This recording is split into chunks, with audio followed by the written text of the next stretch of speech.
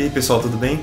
Eu me chamo Marco Álvares, eu sou da turma de 2010 e estou me formando agora em design gráfico. Meu TCC é sobre concepção e desenvolvimento de recursos visuais para o jogo Dota 2. Então se você tem interesse por essa área de jogos e concept art, eu te convido a assistir a minha apresentação lá no dia 28 de abril, numa terça-feira, às 7h30 da noite, na sala 51. Até lá!